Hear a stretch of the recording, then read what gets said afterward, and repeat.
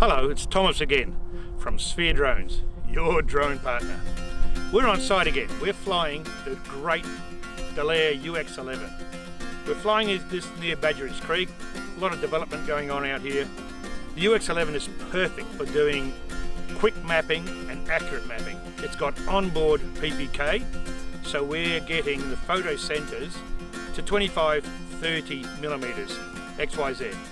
Big advantage, only a few ground control points. So we're able to map 100, 150 hectare per flight very quickly, one or two ground control points, and we move on. This whole area is going to be greenfields development. Something like the UX-11 allows us to flick it into the air with ease. Guaranteed landing within 10 metres.